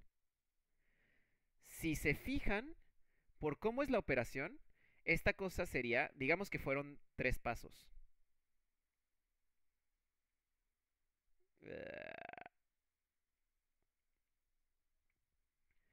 En el paso 1, esta, digamos que estamos hablando de A2. A2 se va a ver como A2, cosito, A3. Y en el siguiente paso, ¿cómo se va a ver? Alguien puede escribir en el chat cómo se va a ver.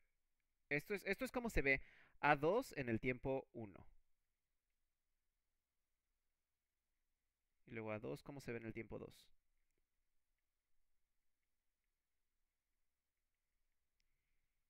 Eh, déjenme ver el chat. O, o, si dicen en el micrófono. Eh, ¿No? ¿Sugerencias?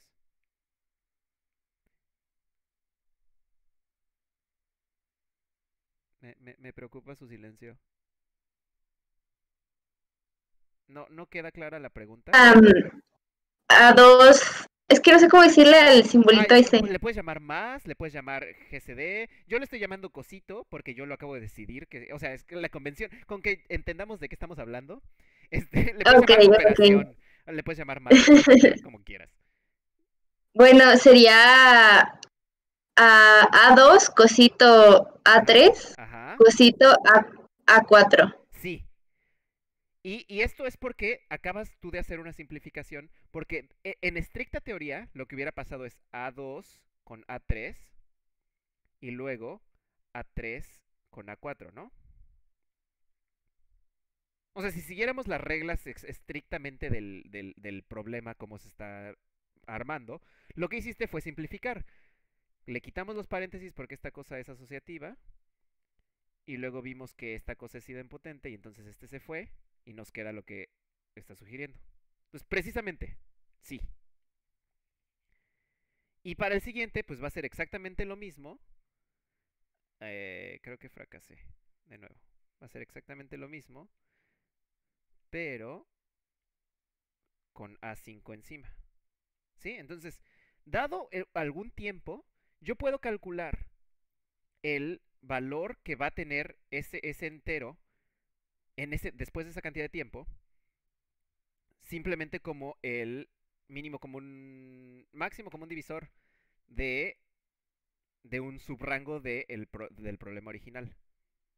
¿Sí? Hasta aquí no hemos perdido, el- o sea, estamos simplificando el problema aún más. ¿Sí? Deténganme si, si estoy yendo muy rápido si los perdí. Ok. Dadas estas dos simplificaciones, ahora podemos hacer una observación muy divertida. Observación 3. Eh, digamos que ADK en el tiempo... Ay, no me gustan las letras. En el tiempo alfa ya es igual que 1. En el siguiente turno... Bueno, aquí voy a poner implicación porque ni siquiera puede ser... Ok. En el siguiente turno, cuando t es igual que alfa más 1, me puede, ¿sabemos el valor de a de k? O sea, si ya sabemos que un número se volvió 1, ¿se puede desvolver 1? No, no se puede, porque el GS de 1 con cualquier otro, que diga el máximo común divisor de cualquier otro valor va a ser 1, ¿no? Entonces siempre se va a quedar en 1. Exacto. Entonces, nada más hay que checar eh, eh, pues, los valores en conjunto del arreglo original. Por ahí va la cosa, por ahí va la cosa. Recordemos que el problema es decir, ¿en qué momento todos los valores se vuelven 1? ¿Sí? Entonces ya tenemos las dos observaciones, bueno, ya tenemos las tres observaciones cruciales para resolver el problema y ahora aquí es el como el, el brinco divertido en el que se... O sea, ya, ya tenemos todos los prerequisitos para resolver el problema. para quienes no lo resolvieron antes, si les doy el hint de decir, a ver, fijamos, fijemos a, a- a una K específica, o sea, fijemos algún elemento del arreglo específico, y te estoy preguntando, ¿en qué tiempo, cuándo se vuelve un 1? ¿Lo podrían contestar? Sí, Sí, con una binaria. Con una Exactamente, binaria. Exactamente, es una búsqueda binaria. Esta cosa tiene la propiedad de la búsqueda binaria, ¿no? De que en algún, estoy buscando algún momento, algún tiempo, esta, es- a esta hora es una recta en el tiempo, en algún momento misterioso se vuelve uno. Y a partir de aquí es 1, 1, 1 siempre, ¿no? Entonces lo que estoy haciendo es buscar un punto, exactamente el punto de corte donde cambia esta propiedad. Entonces, una búsqueda binaria. Entonces, lo que tengo que hacer es una búsqueda binaria para cada uno de los números de mi, de mi lista para determinar el tiempo en el que se vuelve uno y sacar el mínimo de todos ellos. ¿Y cómo, cómo, qué necesito para calcular esa binaria? Necesito saber cómo se ve ese arreglo, ¿no? Necesito saber A de K Pues- dado un T. Te- tengo que preguntar esto, que esto es precisamente decir el GCD de A de K ori- ori- original, ¿no? A de K más 1. Así. Podrías, podrías usar una Sparse Table para calcular eso en tiempo eh, log de n. Entonces ya te quedaría- en O de 1, ¿no? Ah, de uno. Pero no necesitas de que, o sea, si, si son valores. Ah, bueno, porque usas valores de, de, de potencias de 2, ¿no? Eh, es que podemos, acuérdate que el GCD tiene las dos propiedades bonitas especiales que nos dejan hacer lo mismo que con los mínimos, de hacer solamente dos cosas que se enciman. Ok. Entonces puedo hacer esta operación directamente. En vez de partirlo en trocitos chiquitos, nada más necesito dos trozos grandes, sacarles el GCD y se acabó. Por eso es O de 1. Podría hacerlo en logdn con, con, la, con la idea del grid y de comerme medios, medios, medios. Ok. Pero en este caso lo podemos hacer en O de 1 porque el GCD es idempotente. Y Mm, es claro, ok, conmutativo. ok, ok.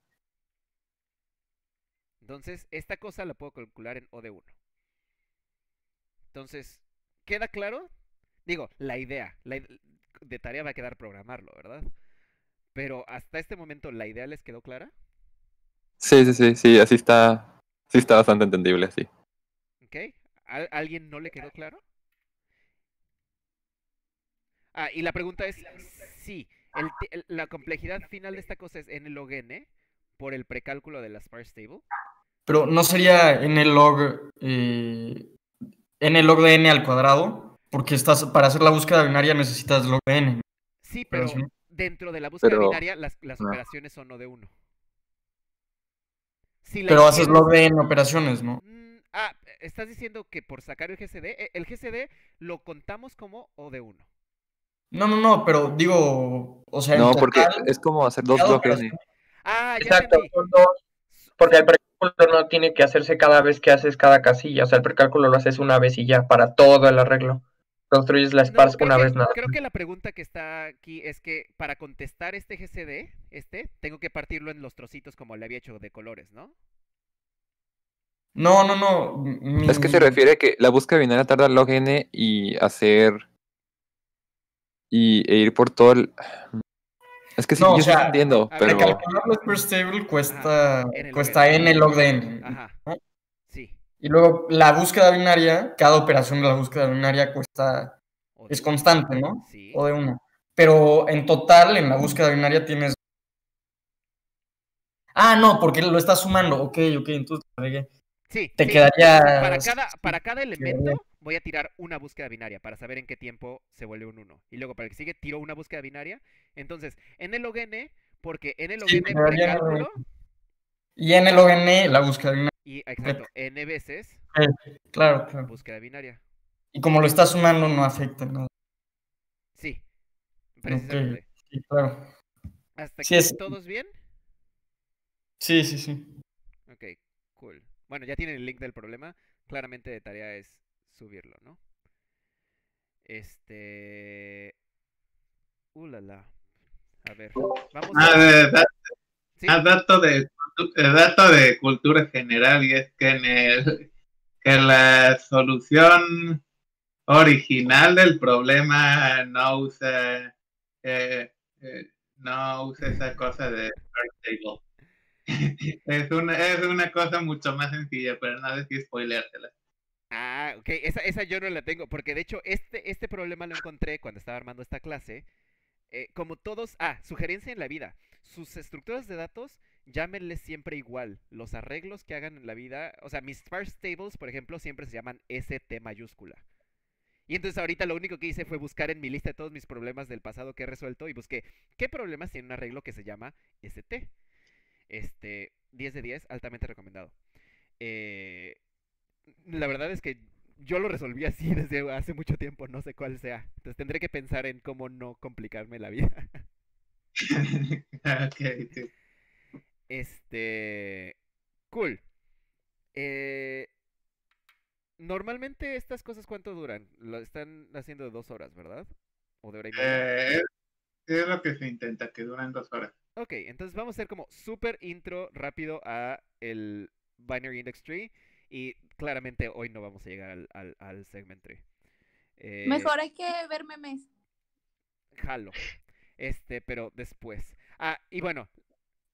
Bueno, les tengo otro problema de estos que sale con Sparse Table, pero se los dejaré de tarea para el futuro para no, no confundirlos ahorita. Eh, eh, a ver, te voy a, te voy a pasar la, eh, la propuesta original del problema con la Ah, cool. solución por privado. Úsalo, úsalo con respuesta.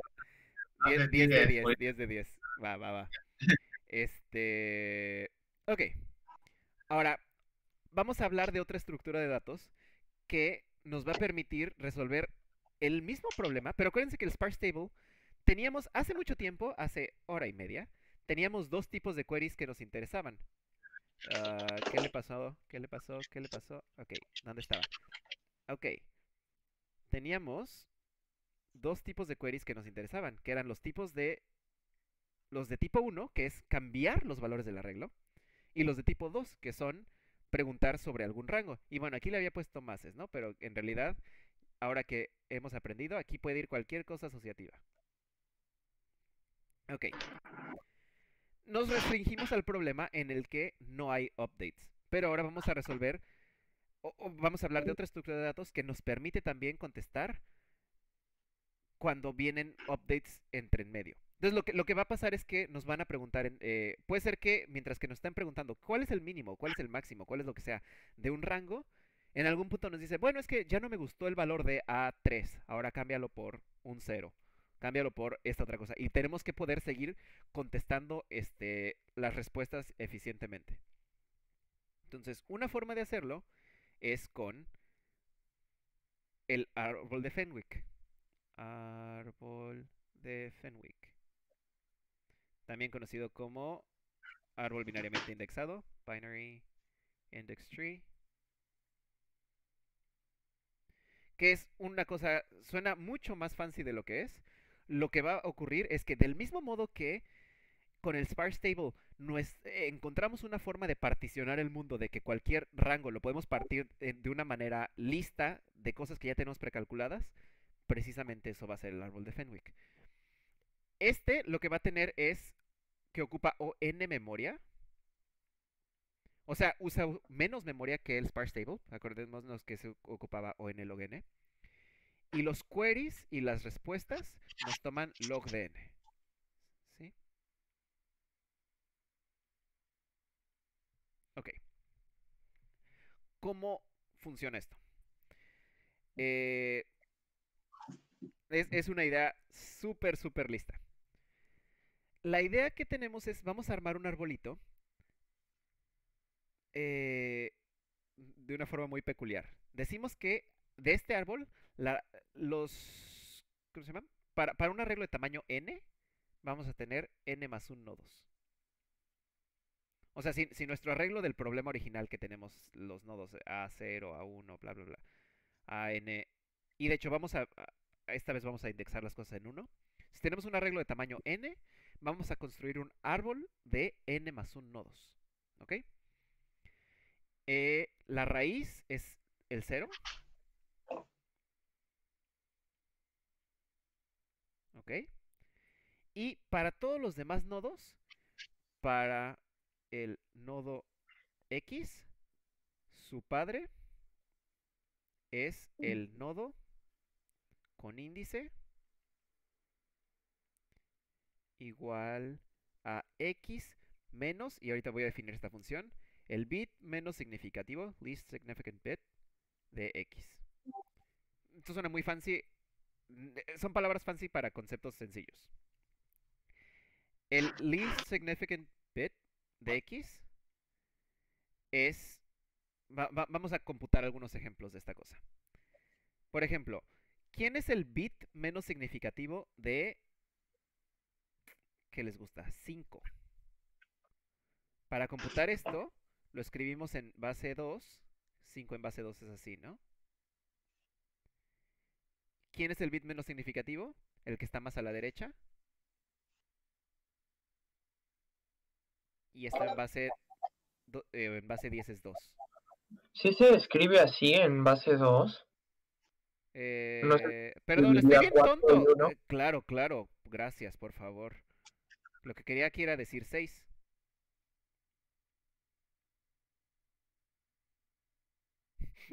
A eso me refiero con digo sandeces si no estoy poniendo atención. Gracias por detenerme. Ok, ahora sí. ¿Quedó claro? El bit menos Sí, significativo. claro. El bit menos significativo de 1, por ejemplo, este va a ser 1. El bit menos significativo de el... ¿Qué les gusta? Eh, 14.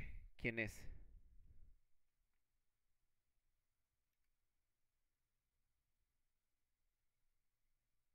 Dos. Dos.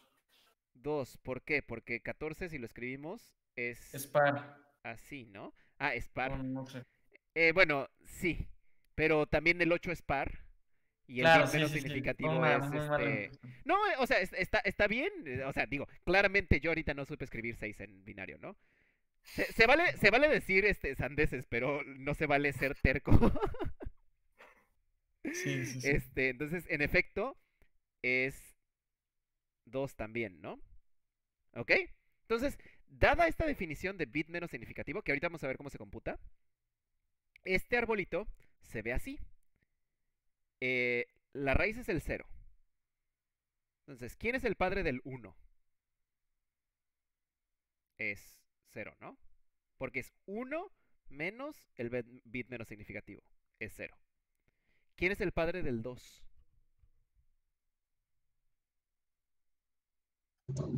¿Cero? 0, ¿no? Porque el bit menos significativo de 2 es 2. ¿Quién es el padre del 3?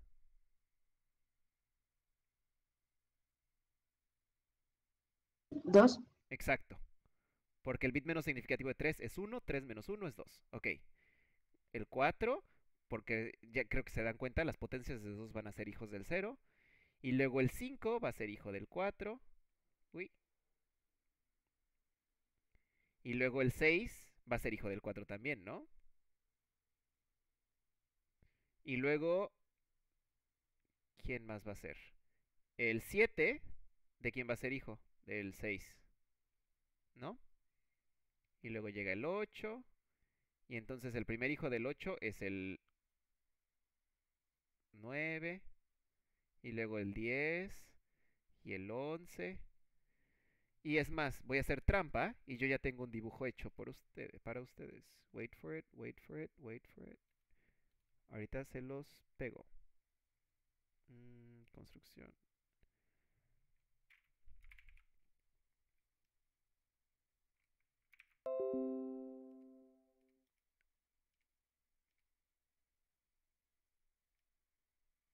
Bien bonito en Tej. ¿Sí? Está el dibujo de cómo se ven los nodos del árbol binario que tiene 16 nodos. Se ve muy claro quiénes son sus padres. Y escrito en base 2 es muy claro por qué el padre de cada quien es su padre. ¿Sí? ¿Hasta aquí no los he perdido? No, no las has perdido. Bueno, a mí no. Ok. Eh, ahora, pregunta divertida. Si tengo n nodos, o bueno, si tengo n más 1 nodos,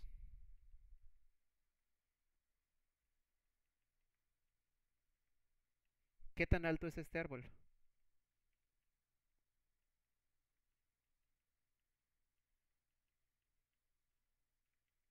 En su clase de árboles vieron altura de los árboles, ¿no? Que quiere decir la distancia, eh, en particular la altura de un árbol enraizado es la distancia más larga de la raíz a, a alguna de sus hojas, ¿no? Es logaritmo 2 de n, ¿no? Sí, ¿por qué? Porque cada uno de los nodos representa como una división entre dos.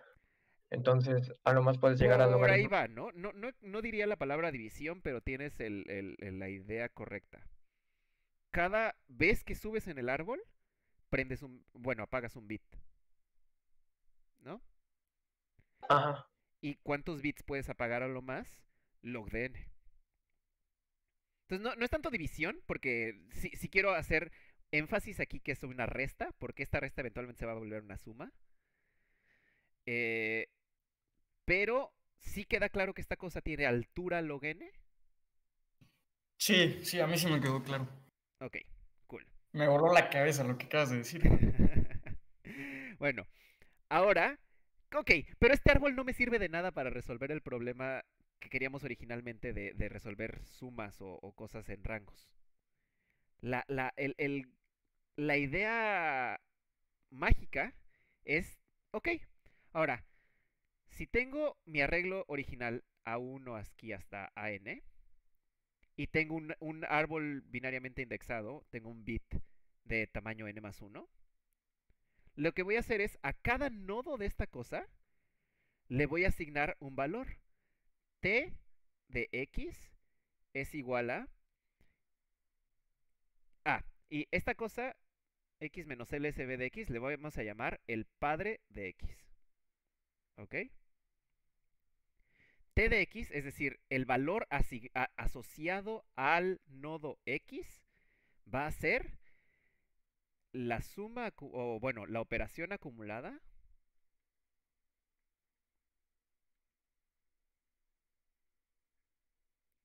de...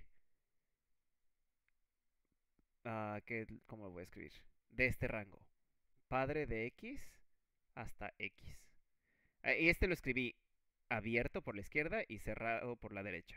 Eh, Está, esto está muy este, abstracto. Vamos, vamos a, a- aterrizarlo con números. Imaginemos de nuevo que estamos hablando de sumas. Entonces, nuestro arreglo original lo vamos a hacer de tamaño, híjole, 7. Y entonces nuestras sumas van a ser los números 1, menos 1, 3, 4, 2, menos 3. mm, ¿Cuántos quería? ¿Dos más? 2, 1. No, menos 1, nomás para que amarre. Ok. Entonces tengo... ¿Qué será? Lo- los valores t los voy a escribir con verde. t de x. Eh, y estos son las x. Entonces este es el valor 1, el 2. o Estos son los índices de nuestro arreglo. ¿Ok? Por definición... Ah, bueno. Claramente, a- t de 0, por esta definición, no, no, no está bien definido, ¿no? Entonces, digamos que t de 0 no está definido.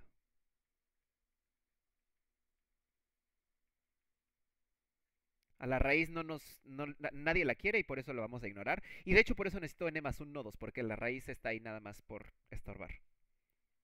Entonces, vamos a calcular los valores t de este árbol. ¿Quién es t de 1? t de 1 es la, la operación acumulada desde el padre de x, sin contar al padre de x, hasta x.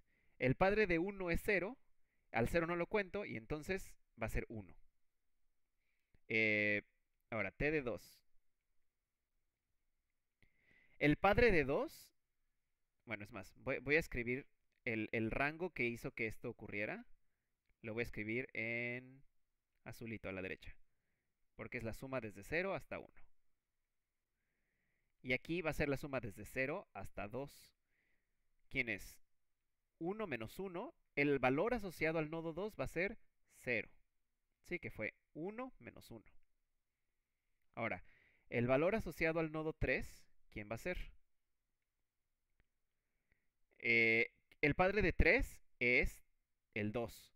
Entonces, el rango asociado a esta cosa va a ser el 2 abierto por la izquierda y el 3 cerrado por la derecha. Entonces, T de 3 es 3. Qué sencillo. T de 4. Ups. Voy a escribir todas las T's de una vez. 4, T de 5, T de 6, T de 7, T de 8. Qué feo, porque se me acabó el espacio, ni modo. Eh, ok. 4, el padre del 4 es el 0, entonces el rango que nos interesa es desde el 0 abierto hasta el 4 cerrado. ¿Quiénes son la suma? 1 menos 1, 0, más 3, 3, más 4, 7. Ok, cool. Para el 5, ¿quién es el padre del 5? El 5 es el 4, el padre, su padre es el 4, entonces el rango que nos interesa es este. Que es solo el 5, ¿no? 2. Eh, ok. T de 6, ¿quién es el rango asociado al 6? Es... Como su padre es 4, entonces va a ser 4 abierto por la izquierda, 6 cerrado por la derecha.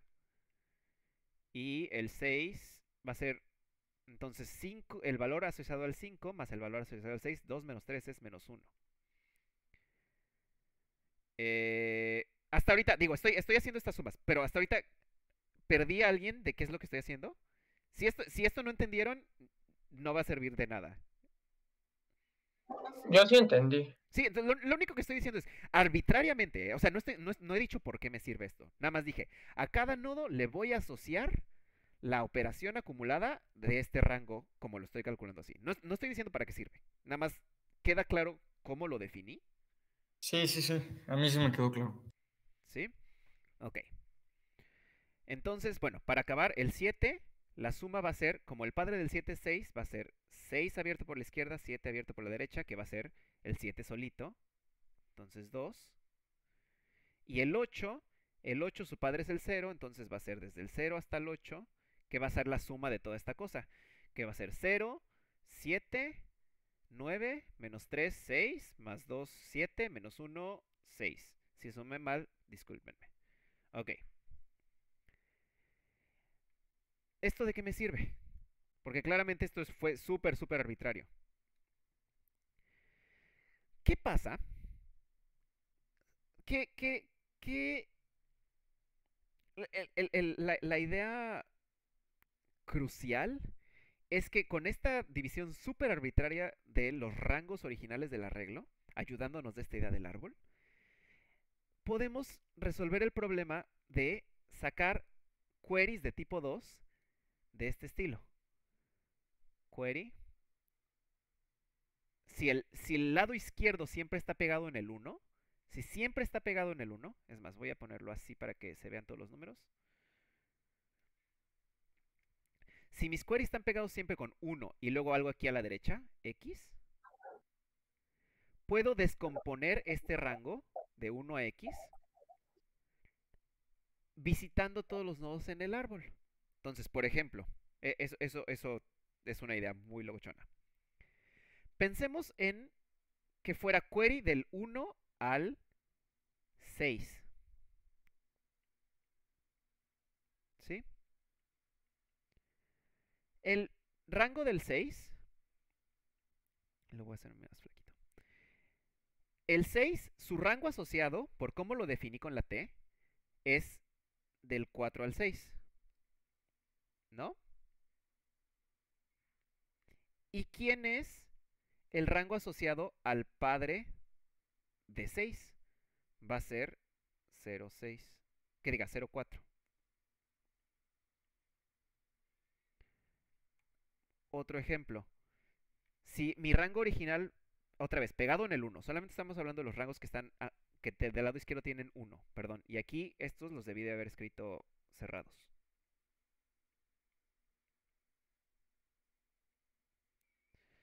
Si mi rango original era del 1 al 7, por ejemplo, lo puedo partir en como si fuera visitando a los nodos 7, 6, 4 y preguntar por sus rangos asociados.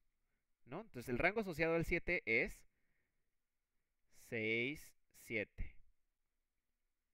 Y luego 4, perdón, sí, 4, 6.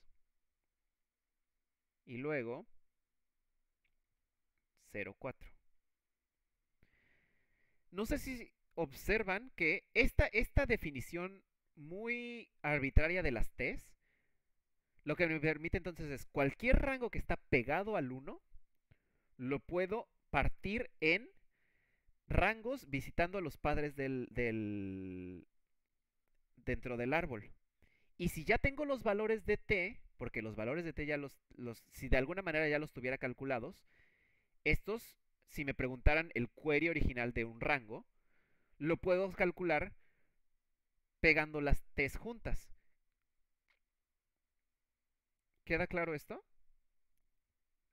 O sea, si me estuvieran pidiendo la suma del 1 al 6, lo que tendría que hacer es sumar t de 6 y t de 4. Si me estuvieran pidiendo la suma de 1 a 7, lo que tendría que sumar es t de 7, t de 6 y t de 4, que sería lo equivalente a ir subiendo sobre el- este árbol.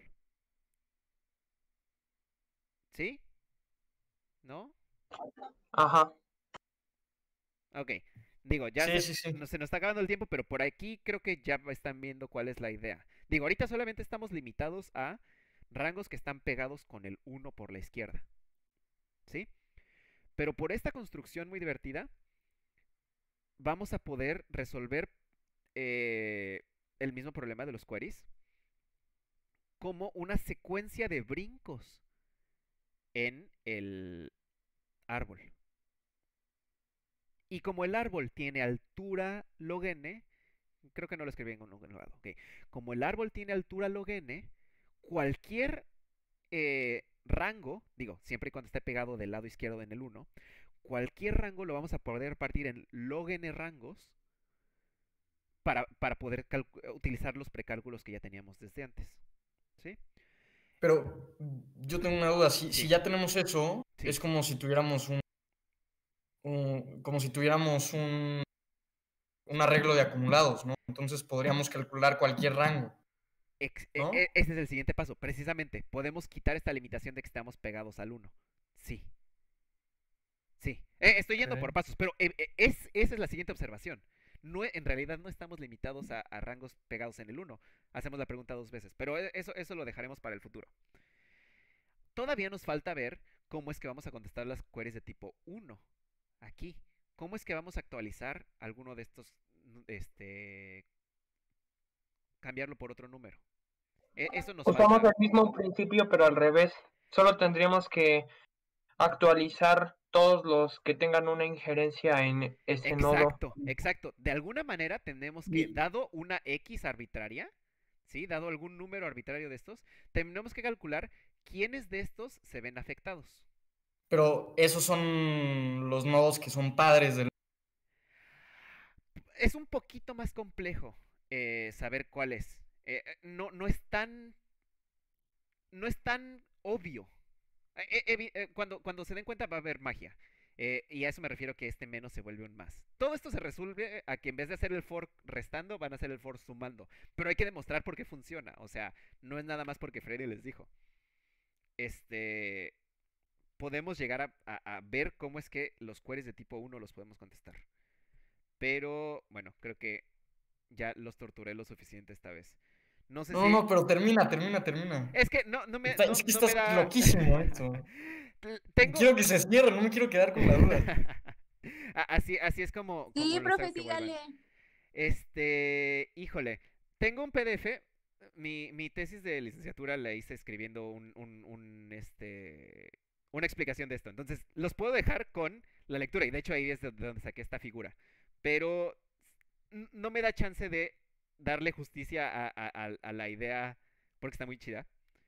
eh, así como corre- carrereado, ¿no? Entonces, to be continued. Les pego el PDF si quieren continuar leyendo. Les dejo otro problema con Sparse Table. Y creo que ahí muere. Digo, menos de que tengan dudas, que no sea continuar esto.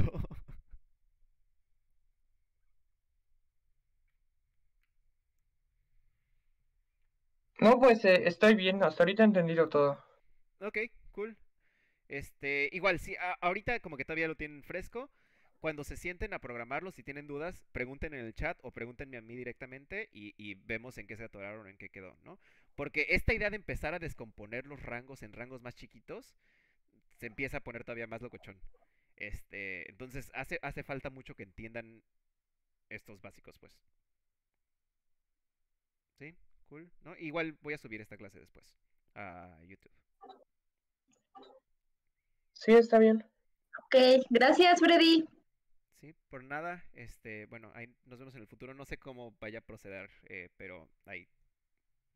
Le echan ganitas, pues. Mm. Eh, También tengo ah, algo de material por ahí que les puedo spamear. Uh, uh, ok. Cool, cool, cool. Eh, está está súper bien. En particular porque tienen que implementar esto, ¿no? Eh, to- todo es muy bello en el pizarrón hasta que empieza a dar wrong answers y runtime errors. Este, entonces, este, ha- hace falta programarlo.